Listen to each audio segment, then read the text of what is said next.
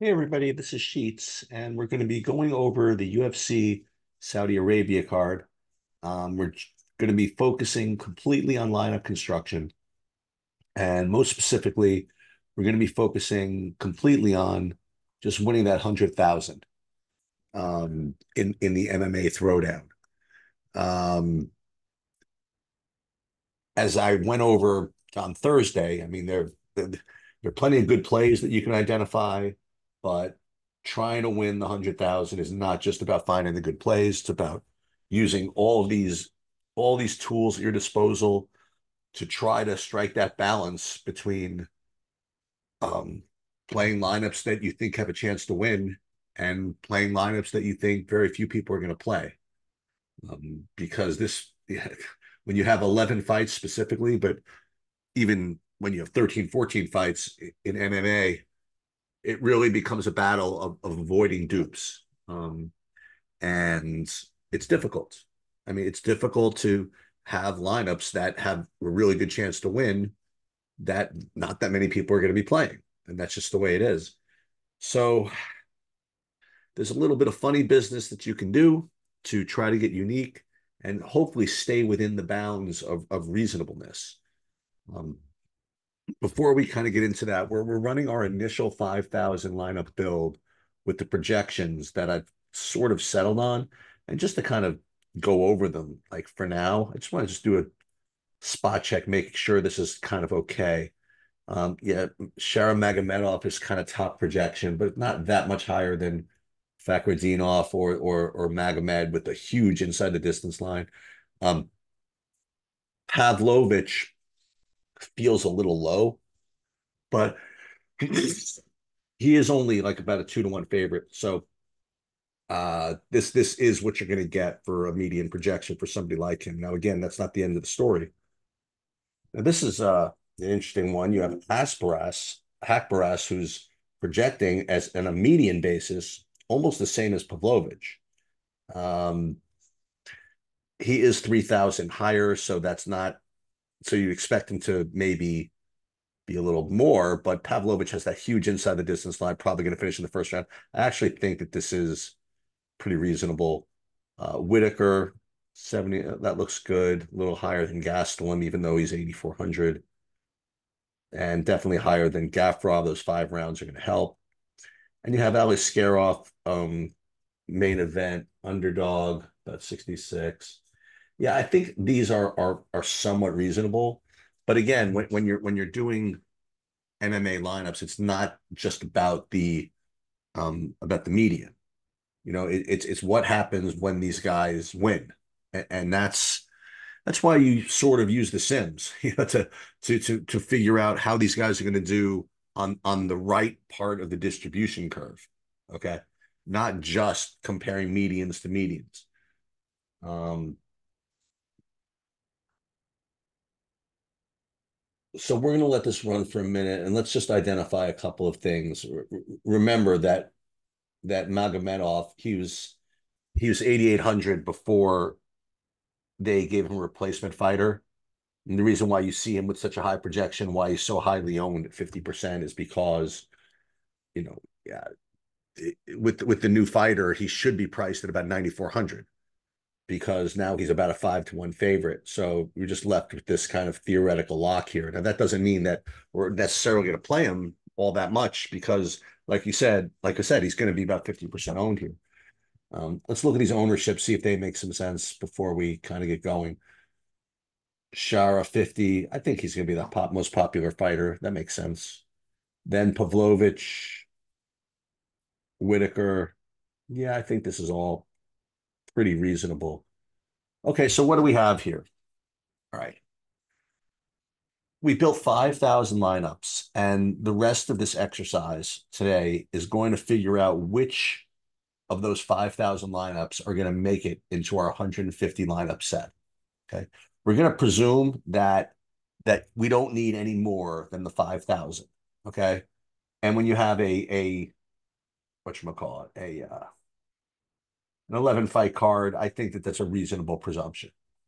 The other thing I would mention is that I did put in the lineup rules um, to not use opposing fighters. Um, and listen, if it's an 11 fight card, you could certainly it, it's certainly more likely that a stack wins as opposed to a 14 fight card, but still it's very, very difficult for a, a fight stack to win uh uh to, to hit the optimal. So I I am although I should say that making the rule to not allow it doesn't make a lot of sense because the idea is that if you're running these sims and you're running, you know, all this stuff, if you get to the fight stack, you should keep it. You know what I mean? Like you shouldn't exit out. The reality is you should probably not get to it anyway. So you probably should just rerun these if you want to know the truth without the without that restriction. Um now, what are we looking at here? this is I, I I really like that this is where SaberSim starts because it says this MMA default. We've talked about this every week. MMA default setting on SaberSim is literally the most aggressive setting that you can have. Okay. And when you get into the the weeds here about what it is, again, I'm going to do this every week. You click on the eyeball and and you see the formula to calculate MMA defaults is well, you factor in the projection, 0.5 sum of the projection, but then you're adding the half of the 99th percentile um outcome of the lineup, which is a huge, huge presumption. You know, you are really only playing for that right side of the distribution curve. Um, and then you subtract 0.3 times the sum of the adjusted ownership. So this is super duper aggressive. Okay. Um, so what you could do I mean, if you were just Stone Psycho, and an 11 fight card is just roll with the MMA default settings. Um, in fact, just understand that it's the highest upside and and the probably the most unique lineup build that you can create, and also probably the least likely to actually win. Um, but you know that you're at least taking it from the top five thousand um, lineups. So at least it's something. But what I've done is I've created a separate, and you could do this too, a separate metric, and I call it Sheets default, but you could create your own. And and what this does, I basically copied and pasted the same MMA default formula, except instead of making the 99th percentile of lineups, I made it the 95th. Just made it a little bit more tenable. So my my question is is always going to be, okay, how many lineups of this MMA default am I going to roll with? Okay. Um, I'm always going to play some, and uh, I don't ever really know what the best way to approach it is. Okay. Um, but we're, we're going to get back to that. We're going to get back to that. The, the, the next thing to, to, to look at is this MMA Sim Diversity 10 setting. Okay. Um, and this setting is more the more traditional setting um, for SaberSim. Like when you get into this eyeball, it it's uh, it's a hundred times the sim optimals plus 0.8 times some of the projections. It does not take the 99th percentile outcomes. It's the sim optimals. And it's only dinging ownership by point two times average ownership as opposed to 0.3. So it is aggressive, but it's certainly not as aggressive as MMA default. And the other thing is that uh, this does a pretty poor job of of uh, of avoiding dupes. So if you did roll with the Sim Diversity 10 rankings, Sim Diversity 10 settings, you're getting probably the most likely lineups to hit the optimal. Um, but so many of these lineups are going to be so mega duped that you're going to have to do something different than just this. Okay. Um, the next thing I want to kind of put in is the is the contest sims, and we already saved the settings here. And the question is, what um, what field of lineups are we going to compare our lineups to? So you could use the flagship MME um, set, which is what SaberSim kind of recommends, or one you could do. There's a lot of things you could do. Okay, but for the purposes of this video, the other thing that you can do is is you run it against your 5,000 lineups that you just built. Okay, so essentially, when you when you have faith in your projections and and the fact that SaberSim is going to build like a reasonable field of lineups for you, then um then you could use that field. Um, for the purposes of this video, I think I'm gonna. Well, we could do both if you want to know the truth, but it's the same thing. All right, so so let's so let's. It's the same process at least. So we would go to flagship MME, and then we'd run the contest sim here.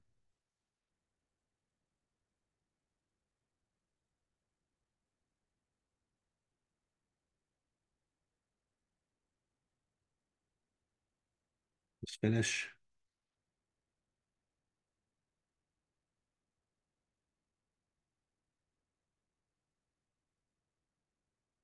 It's like it's it's like it's uh stalling on me a little bit.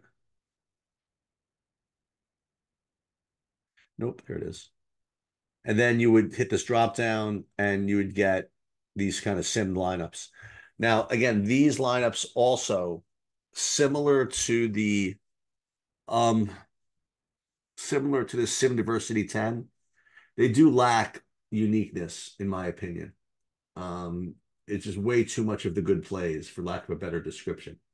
So again this is also going to be i think this is probably going to do a little better as far as getting unique than the than the con than the than the regular you know sim diversity 10 because you know you're um comparing your lineups to it to the field. And and you know you're presuming that that you know what the other people are going to play.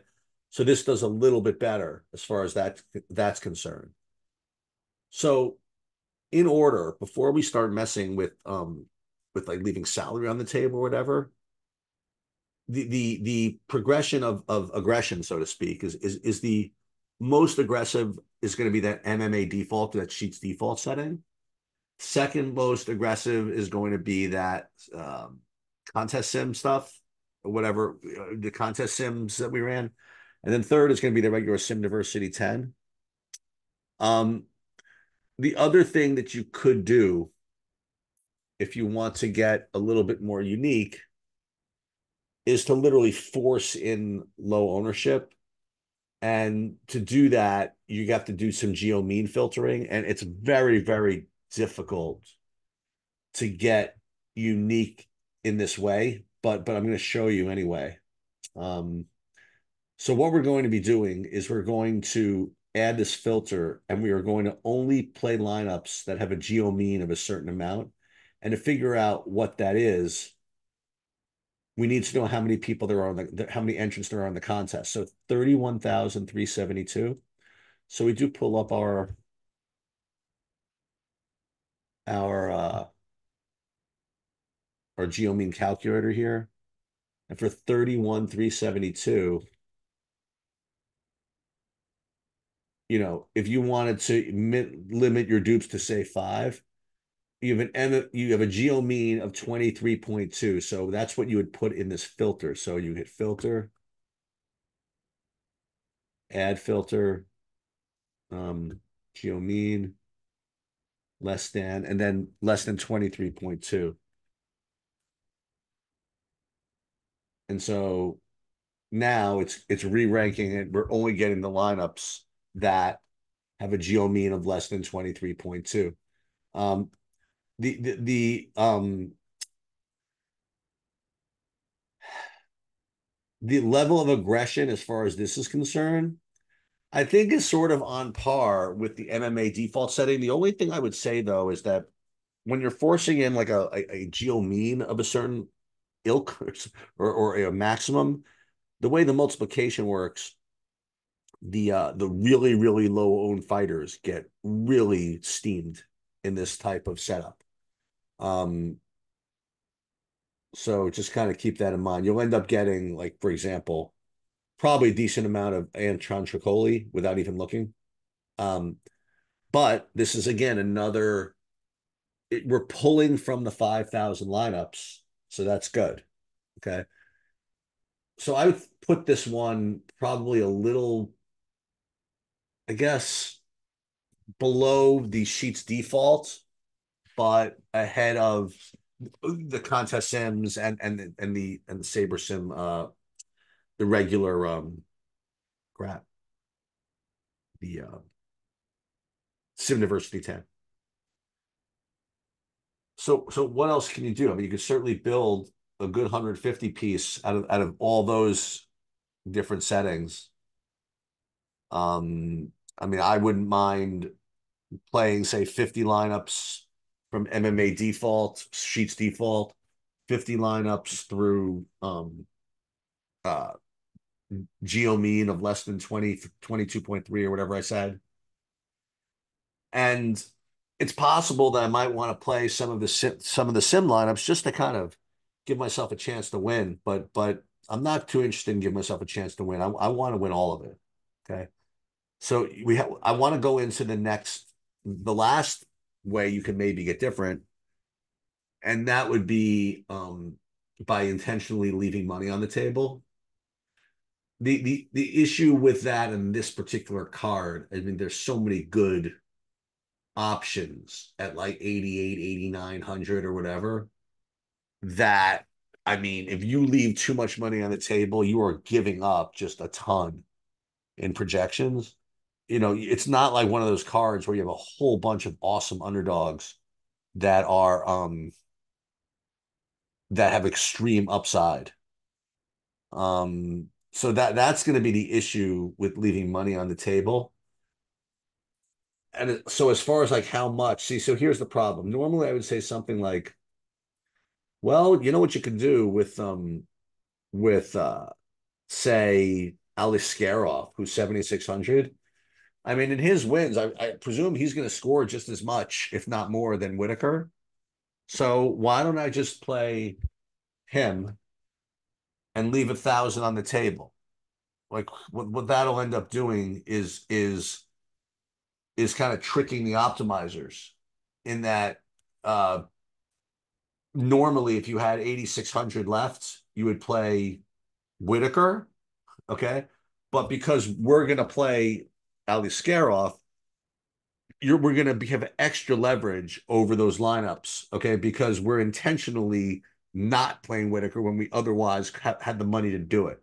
That's what leaving the thousand on the table does in these kind of underdog situations. But the problem on this type of slate with that is that to leave a thousand on the table means you're you're probably playing a 7800 or 7700 or 7900 guy in the rest of your lineup and not getting to like Pavlovich and um and Magomedov and whatever. So yeah, I mean you're you're you're you're kind of okay in those non-winner in those uh Aliskerov lineups because you're getting a little leverage over the lineups that have what's his name instead, but you're giving up just so much in in in projection that it's it's I I probably think it's inadvisable to leave that much, but you can leave something, you know. So I think that of these 8400s, like this guy's uh, Whittaker's going to project pretty well. The question is, do we want to leave a thousand on the table with Walker, for example? Well, that we don't really need to. So what underdog like is is somebody we want to play, but projects a little bit lower than his opponent. See, not the Zhao Long one is bad. Okay. This one is bad. The there's really no amount of money I really feel like leaving on the table here. So actually, Aliskerov, 80, 7,800 to 8,400 to leave 600 on the table.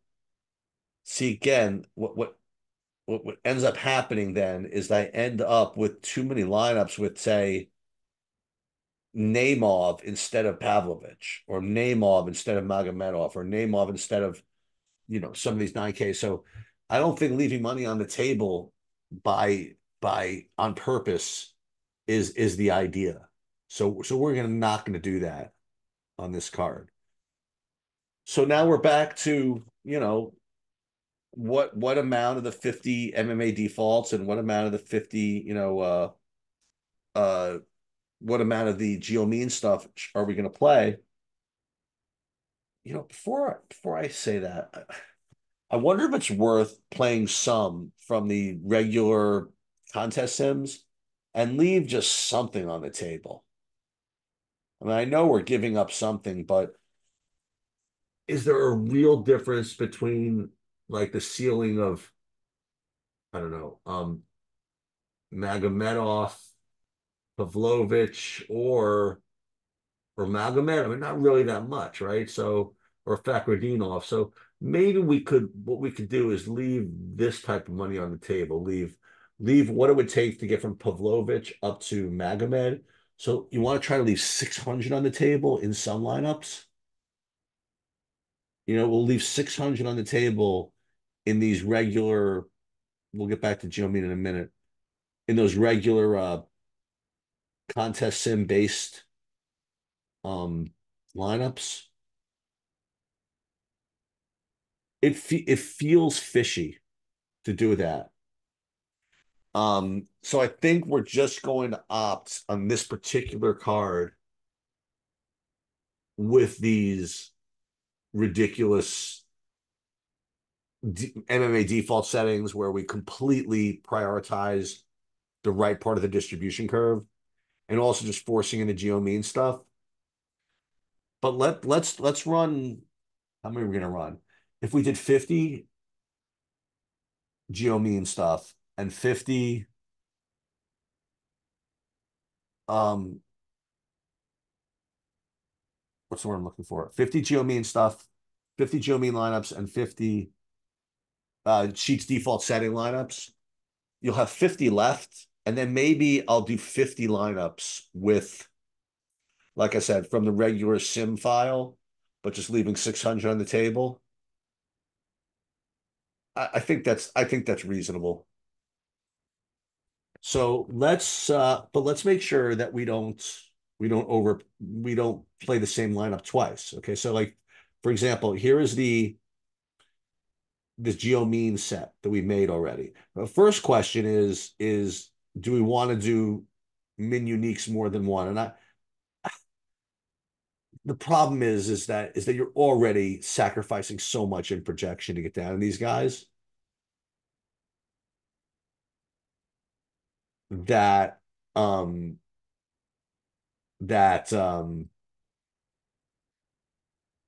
you're sacrificing so much in projection to get to get down to these guys that I don't think this is a really good idea. Okay. Um so let let's let's start with 50 lineups, geo mean filtered. So that's what I said. We don't, I don't need to go min uniques too. So we'll go 50 lineups in the and we've done geo mean filtering here. Okay. And we started from the Sims and then we we we went geo mean filtering there. So let's save these and we're going to save these to this file. Actually, these are the you know what these are? These are the the geo mean lineup. So I'm going to cut and paste those in my dupe calculator or my dupe macro, which I um which I've shown you guys before. And you can use the favorites column. There's other things you can do with this, but you know, but I like the way mine works. Is I'll put 50 lineups, these 50 that I just made in here, and we'll kind of keep those for safekeeping for now. And then I want to go back to those um, MMA default lineups. Uh, not MMA default, the Sheets default lineups. Okay. Um, and we'll use 50 of those and we will save these as well. So we will cut here and paste those as well into this dupe calculator. So what we've done is we've done 50 lineups with the MMA uh, with the sheets default setting and 50 lineups with the um with the uh, geo mean filtering Let's just see. Let's just make sure there's no overlap between those. So this this macro will fat will will factor those out and let's just see. So yeah, so there are eight lineups that appeared in both. Um, so it removed the dupes part of those. And so now we have 93 lineups so far that have a lot, you know, that have a lot of aggression to them. So what we could do is build the remaining 57 lineups out of the that leaving money on the table stuff. So you know what? Feels it feels a little fishy, but we're gonna do it anyway, just just to show you. So again, we'll go back to um not Sim Diversity 10, the uh the throwdown, the Sims, and then we'll just sort this by salary, or we'll do a filter by salary. Mm.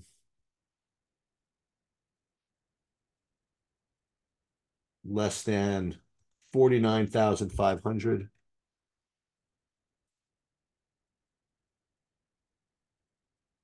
Yeah. And we will then, we don't need, we actually need more than this. We need 57. So put 57 lineups. And then what we're going to do, save these to CSV.